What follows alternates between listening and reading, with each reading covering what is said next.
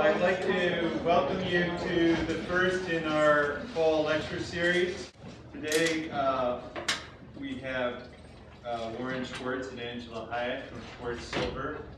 Uh, Warren is conducting an advanced studio uh, this fall and was asked by the department because he's a distinguished practitioner uh, as well as um, a beautiful designer and uh, brings a level of, uh, of consistent and insistent professionalism uh, to his own work and I hope in, to the teaching of the studio. So we're very fortunate to have uh, Warren and Angela here today.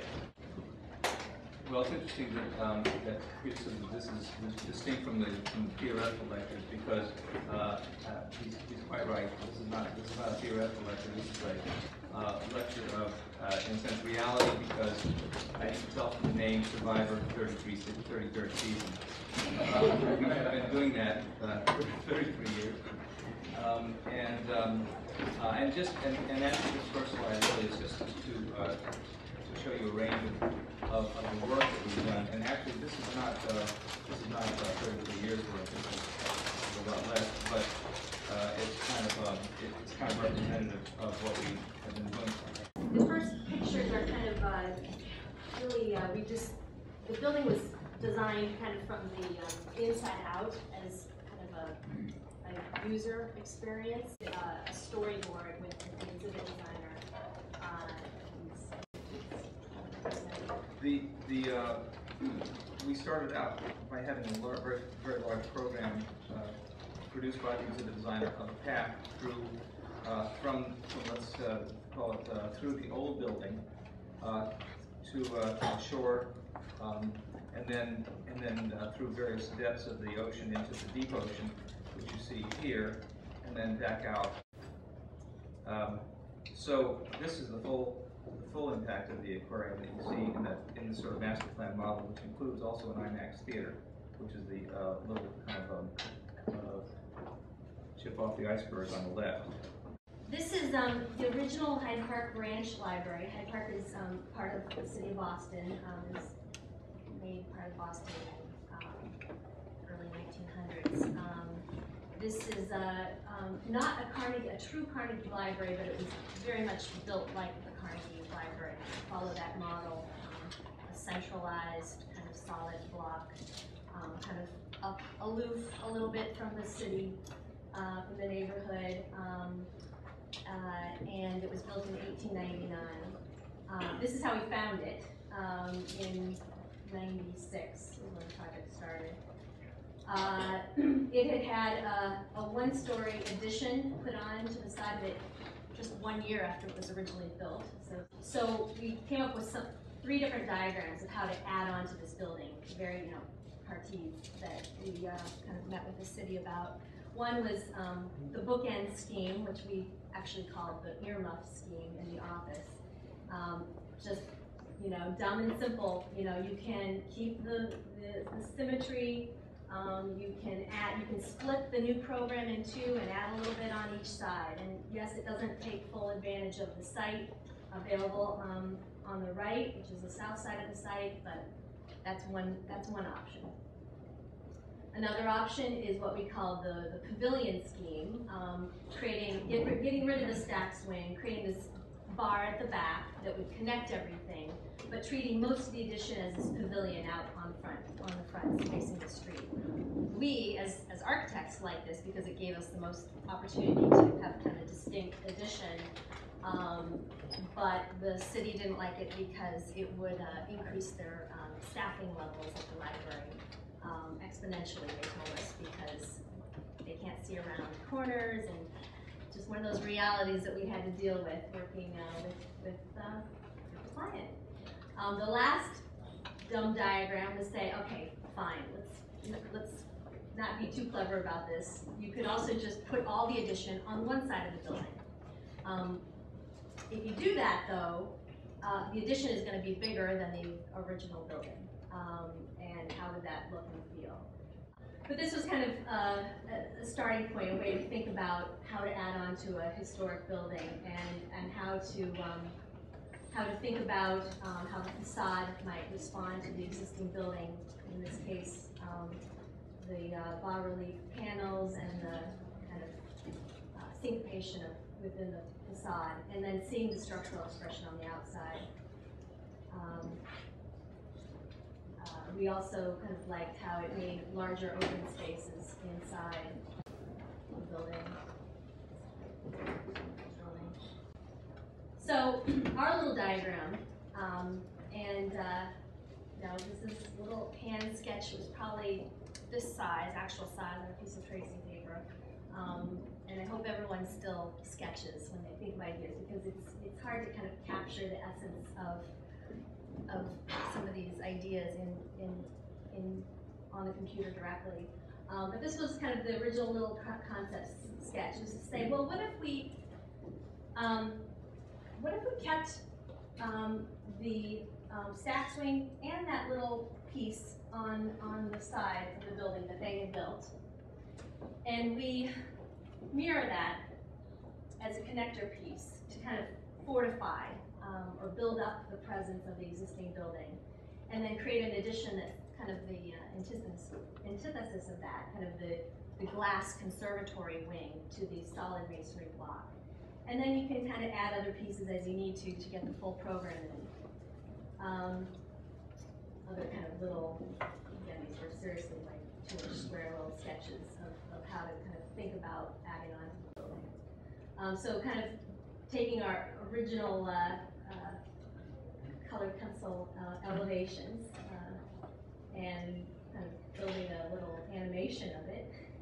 Isn't that word very, um, we would take that existing, uh, little addition that was built, we'd actually make it two-story addition, build, we, we kept it in place and built a story on top of it. Mirror it on the other side, and then, um, create addition, um, the, the larger addition, um, on the end. Uh, this is the lower level. Um, so this is the finished product. Um, so, uh, this got a, a two thousand, uh, National, um, AIA Honor Award in two thousand one.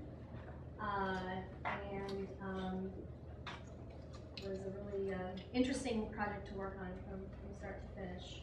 Um,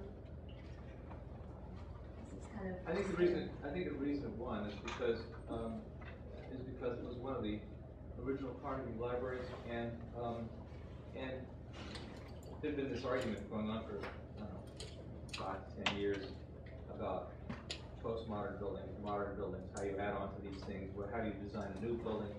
Um, we're past that, but this is, this is the part of the argument, and I think that there was a fresh, believe it or not, a fresh view as to how you could actually, uh, uh, put a new building onto an old one, uh, make the two things, uh, uh, actually, uh, um, merge become one building again, of two contrasting parts.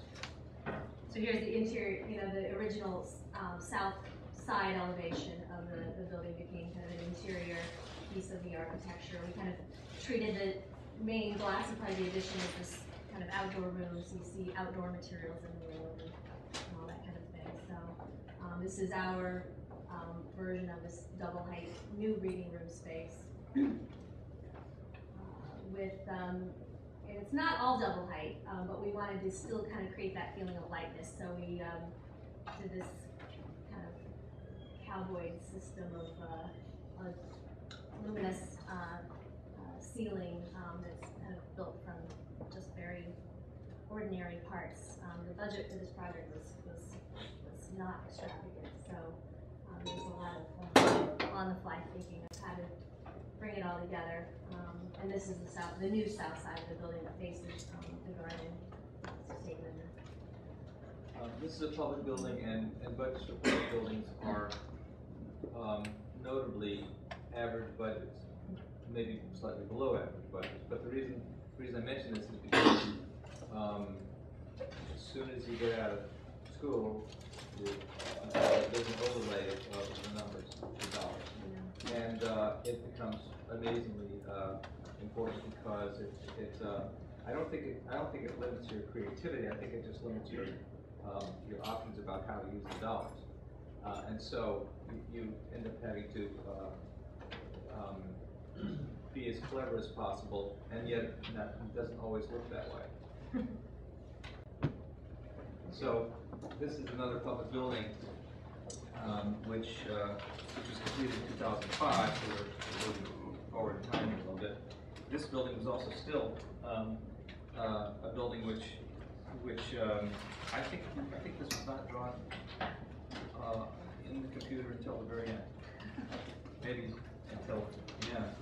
So, it's, it's amazing how quickly things have changed once they started to change. The, this, this is a, uh, the new LSU Museum of Art, which was going to be, um, on this, uh, sort of, uh, empty meadow at the bottom right of this kind of triangle of space, um, four miles, uh, out of the city and near LSU University. They asked us to do some site plans, to, to look at ways of putting, uh, not only one building, but actually putting another, a second building on this site. And so you see here, various ways of going about it. Um, one, one of the interesting things is that, uh, the reason you see some water there is because we had to, uh, have, uh, we had to retain water, which, uh, which comes in large quantities, uh, to, to southern, um, uh, part of Louisiana. I just wanted to say one thing. This, this is a, a site outside of Baton Rouge, right? The, the suburban. Right. Yeah. So just kind of, um, kind of go with the survivor theme. um, uh, one thing that, that firms, you know, that are around as long as this firm has been around, we need to do is to become adaptable and to kind of, you know, when project parameters change drastically, we need to just jump on it and, and roll with it, and, and that's what happened with this project, which you're gonna probably, um, So talk this, about, this, yeah. this is surprising. And, and, and also kind of with the, the firm as a general, the type of projects, you know, the aquarium versus a historic renovation addition with the Hyde Park Library and his, you know, ground up. Well, it, this museum started out being a museum, uh, only, uh, and, uh, much larger than the one that they had at the university, which was just hidden inside the, the tower, which is the icon of the university. But, um, but they also, at, a certain point, a little bit after this, they decided that they would add a large, uh, or, or around the time this was being done, a large, um, uh, auditorium. This figures in later. But, uh, you can see here that, um, that we had to bring people along, actually serve, serve kind of, uh, uh, we, we were the education component of the, of the client. And, uh, and so, starting at the top, and then moving our way down through the various, uh, kind of schemes, all, they, they all had the same plan. But we actually, uh, arrived at the, um, at the bottom. Um, after a, after a lot of, after, after a, major presentation, uh, uh, to the entire, uh, LSU system. Um, that was unexpected, uh, because they were basically starting and ending at the top. That, that's what the buildings at LSU look like. Expectations. Their expectations were basically a sugar plantation. And in fact, they had one and showed us a lot of, a lot of, uh, even took visits. So this is the building, um, which is, uh, very, um, very conscious of the weather there being incredibly hot and incredibly rainy. Um, and, um, and sunny, sunny, rainy. And uh, just some quick early renderings about what the building might look like. You can see that it has not, what I would call not too much of a facade, more of a, of creating an environment, a kind of an, uh, uh, almost, almost a natural environment. Everything was raised on a platform for two reasons. One is so the water would drain into the, uh, uh, into a drainage pond, but the other reason is because LSU, in terms of bringing a little bit of what they recognized to the site, LSU is raised, all the, all the buildings there are raised uh, up about uh, two or three feet to be above the ground, uh, in the groundwater. And so this building, this building has all the other buildings at LSU were, uh, were raised on platforms. Um, the great thing was that this th- that project ended about the time we finished design development, and then somebody else had a better idea. In fact, the mayor, uh, and um, uh, said, "Why don't we move this the LSU museum downtown, combine it with a new theater, put it on this site here." um, which was,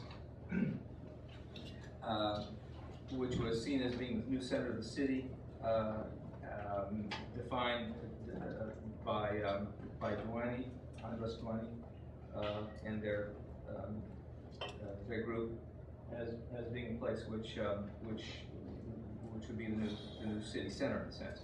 And so, uh, it's interesting, the city center became a museum and a theater. Um, next to the old state capitol, in case you weren't sure what that building was. So- So, in I think something like eleven days, we, we designed very quickly, uh, tests of the program. Uh, and you can see the theater is the lower building to the right. Um, Then this was another version of it, where the museum was inside this glass, the circulation would be on the outside, and the theater would be, again, to the right of it on a, on a different site. Uh, they were two different donors, and so, and so the two donors, uh, wanted to have their own, uh, uh, image, uh, the, the, the, their, uh, their own icon, let's say. Um, but ultimately, um, there was, there was this one grand meeting where there were really uh, a couple hundred people there. And they chose the third version, which is the most unlikely version, which was, uh, uh, kind of a giant canopy of the museum up at the top, a big hole in the middle, and theater over to the right. Um, and then through a series of meetings, which probably lasted a few months, maybe as much, as many as nine months, um, and we showed various other alternatives, and you can, this is, this is part of this long sort of process. It seems, it seems long when you think back, but it actually was relatively, relatively short, because this project started in two thousand, and it, and was finished in two thousand five. So this is the first version. Another possible version of the museum with the theater behind it. Maybe turning the theater and merging the two, so the museum's still up and the theater is, is merged with the, with the museum itself, which is the bar at the top.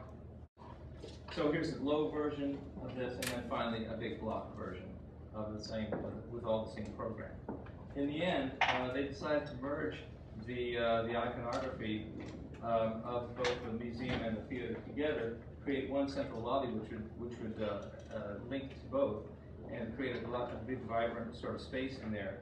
And uh, this is how the building then began to develop, and we were, we were sort of on its way. These are the functions which were then um, distributed within the building.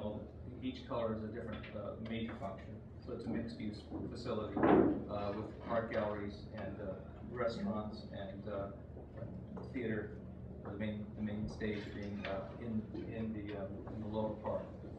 Um, This is uh, one of the renderings. We, we went through many materials, including stone, copper, glass, the whole gamut of materials. And, uh, uh, and, and had long discussions about each one. This is the lobby, which was supposed to link everybody, and did, in fact, and does. Um, this is the view over the Mississippi directly on the, on the river. And then, um, the building under construction, you can see it very much matches it. Um, uh, Hejduk said something a long time back when he was alive, which was, it's interesting to me, still interesting to me, um, try to make the buildings look like your drawings. It's easier said than done. So this is the, uh, uh, these are the, uh, the contractors putting the glass channels up in front of a, uh, basically a solid building, has one window pretty much, maybe two.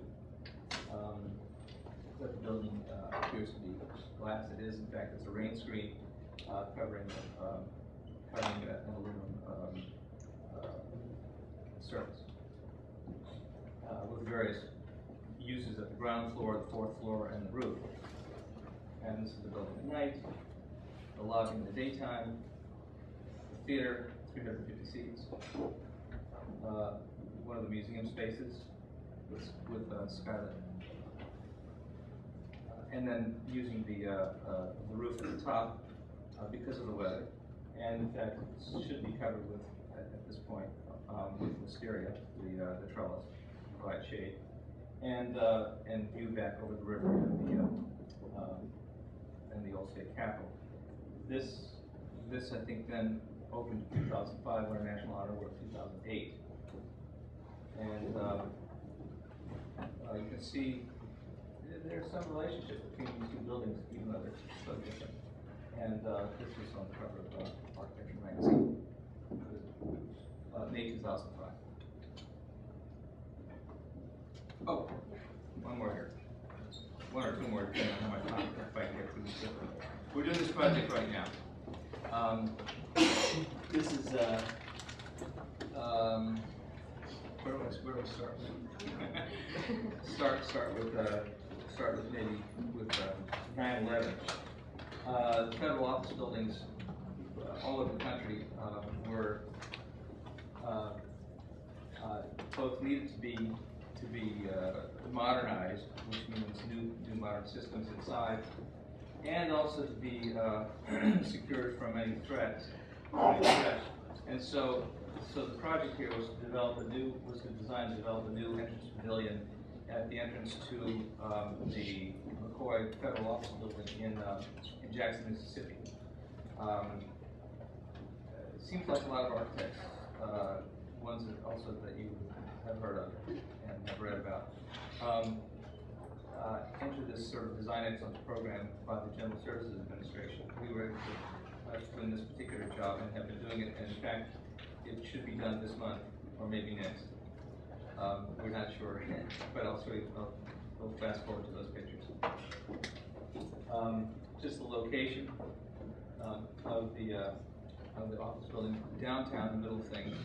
Uh, Jackson is pretty, is, is pretty, uh, low population, sort of wiped out kind of area, but it's trying to come back in the federal, federal office, and, and the feds are trying to change the image of the federal government by changing, by adding, uh, by adding pieces of, uh, building which would be welcoming to buildings that you see, like that, uh concrete building on the right, which is, which is our, uh, which is the federal office building. Um, most federal office buildings of late, after the forties and fifties, started to look like this because they took the lowest bidder. They went away from design excellence to, um, I guess, uh, low bid. And, uh, and they've been trying to switch that back now for, since about, for about ten, twenty years. Uh, back to where federal buildings become leadership buildings, what I would call leadership buildings, leading other architectural, uh, uh, other buildings, um, other architects, other, uh, other architects and buildings into doing, making better, better architecture. Um, this is the, the way the building was before. You enter underneath the tower, there was a threat underneath the tower, it would, uh, basically, um, the lives of three thousand people in the building. Um, so the object was to, make the pavilion outside the building, uh, which if anything happened, um, the building itself would be destroyed and the rest of the building would remain intact. So this is a very tall, uh, version, um, of a new entrance pavilion, sort of on the nose of the, triangle. Uh, another one which is a very, uh, uh, different and, dramatic shape, still, still kind of working off the triangles of the, uh, the ang- angularity of the other building, um, but, um, providing an entrance. Um, Another, another way of sort of going about it, maybe taking the facade and folding it out, um, so that it becomes this kind of, uh, shadow boxes, uh, as a, as kind of a, a roof, uh, under which and through which you enter. Um, this was, uh, um, different view with kind of a magnolia blossom. And, um, uh, this developed through the various discussions that we had about, um, about the area, about the, uh, about, about the flowers and, about the, uh, uh, the weather, and, uh, and also about the river, which, which, which somehow, um, forms iteratively went back and forth between, uh, between various curves and, and, um, and various, uh, imagery. And so this magnolia blossom turned into something like, uh, ribbons, which really were more like the rivers that, that, that run in the flat land. Um, the, here you can see that the, that the plan, uh, the plan goes directly into the, into the new, um, into the renovated, uh, um, uh, elevator core, and uh, stays away from the building uh, itself. And so this became, this became the, the design of the alternative, which was chosen by the federal government, which I thought was extraordinary, and, uh, because this is, this, this now becomes, uh, what I would call, uh, in the, in the realm of, of buildings done by the federal government, again, uh, try- trying to make, trying to change the, the nature and the image of, of, um, of the federal government. Um, just some circulation diagrams, and some landscape done by Hargreaves uh, Associates, landscape around the building. Um, Hargreaves, you may be familiar with, uh, designed the Olympic, um, the, the London Olympic, uh, master plan and, and, uh, grounds. So this is how the new building and the old building relate. Of course, they don't, in a sense, in one sense, but they relate by contrast. And, and it's important that this, that the new pavilion be so dramatic, in a sense, uh, that you, that the, that the older and, uh, building, office building serves as a backdrop. So just some drawings here of, um, and, and the model. Um, As you can, you can see from this model, uh, the, the, uh, there was a printed model, um, something which, not not here for, we've been, we've been doing that, of course. Um, and, uh, then kind of a depiction of what it would look like with the shingles, glass shingles, um, on the building. Um, again, sort of, I wouldn't call it an invention, but a sort of a, a use of, uh, another material. Uh, still, everything being white or in the light color that is sometimes, um, necessary, mostly required in, in climates like this. Um, this is what I was referring to as the river, uh, kind of, in, inviting, inviting the building to be more like rivers. And, um, which then, uh, which then became what we were pursuing as, uh, um, as the building itself. This, this is, uh, uh, when, when we got far along in these presentations in Washington, a number, a few of them. And, uh, this building is both, uh, kind of, uh, I guess, I guess you'd call it, uh, attractive and, and spiky at the same time. Um, you know, uh, welcome, but, and the inside, uh, being very, um, keeping, the- keeping a lot of the light out, uh, but letting light in through a huge skylight. Um, but that skylight has a cowling above it, it directs sun entering space. Again, another rendering, um, a mock-up showing the glass in Kansas City. This was, this building was also made by Zahner Company, did the original aquarium, and another building, that you may know. They, they expanded into, uh, into glass, but you can see the, um, all of these pieces are aluminum, uh, cut by, uh, by water laser. I'm not sure if that's what you call it, that's what it was. Um, all fabricated by, uh, by in the computer. Um, real close-up of the, uh, and then, and then as the building was, as the building was coming along, being built, um, and being wrapped and clad, the, the, uh, uh, th- this building is where you come in, you don't have to actually go into the federal office building, you get, uh, tax forms and, and, uh, social security, um, you, can be be served by something like eighteen or nineteen offices that are within the building, but a lot of that can occur in the lobby space. Also, they want to use the, the lobby space for receptions. So you see the building here, uh, not all that long ago, um, being, uh, being, being, uh, being built near completion. Uh, the, the inside space here, uh, this is probably what it looked like maybe a couple weeks ago. And, uh, um, white, uh, cabinetry is, is, is all, uh, Corian.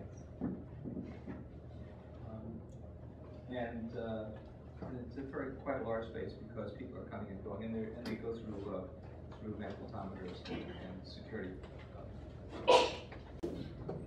and out. And this is, I think, the last picture of this. Yeah, and, uh, so this is what the building is looking like now. Um, the landscape is just beginning to go in, the, uh, paving has been rejected, uh, by the, uh, landscape architect because they didn't build it properly. Um, but actually, uh, it may stay this way, and I'm, going to love it. Um, So, um, uh, we do, let's see, we could, we could, you, uh, we could, we could entertain questions. we do have a, we do have another project which we're just beginning at the Community College, but we might wanna, we may wanna discuss, uh, we may. Yes. Warren, I have a silly question, which is what was that, um, the building next to the, uh, in Baton Rouge, the Collin thing? That? Oh, that's a good question, actually. That's, uh, that, that's, that's the, uh, the reason Baton Rouge is there is because, um, is because, that's the beginning, is because they put the waterworks, uh, on the Mississippi River in that location. And what the waterworks did was it took, they took water, uh, underground and, um, uh, and made it so that, so that it was drinkable water. And, um, uh, it's basically water plant.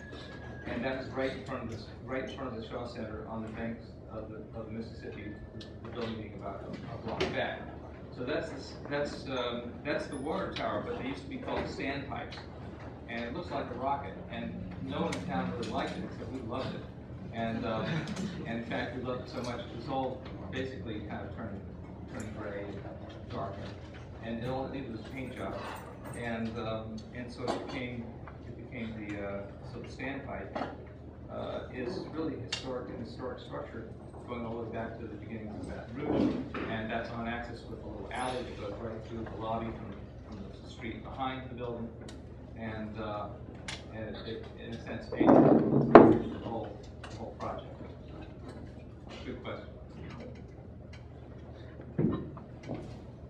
Um, I love the design that you did for the Hyde Park Library, and I wondered if you have seen the downtown public library here in Providence, um, and the addition that they put on there. Yes, Yeah. yes. It's kind of sad to me because, you know, what you mentioned about, um, a lot of times with, um, add-ons, you end up entering through the add-on or through like a, um, hallway or something in between the two. And that has definitely happened there, so you don't get the, the grandeur of going through the front, the beautiful front steps and the front door. We, we've gotten into doing more and more public buildings, although we still do, do, uh, we, we have a house up right now as well. Um, but public buildings are just, um, uh, they require a lot of, a lot of time and a lot of, uh, and- and, and somehow kind of, uh, preaching to people who should know better. Uh, but, but it, it's, it's definitely, uh, um, a challenge to do public buildings, um, and it's another kind of challenge to. And that was one of the demands that they made about the project that we were on board with, you know, that, that's, that's one of those things. Well, we still have to enter through the front door, like, sounds good, Yeah. sounds good. We, um, we had been up to, uh, maybe thirty-five people at once, and, uh, somewhere over the past three or four recessions, we've been down as low as, uh, seven people. Um, we, we have truly survived in the sense that, um, um, we just never know, and other architects don't know if they're gonna kind of make it through the recession or not. And, uh, this latest one is, uh, has been either the worst or at least comparable to the worst. And uh, still kind of going on, although things are, things seem to be, seem to be better at this point. And, um, uh, and it's interesting how you kind of, uh, uh, how,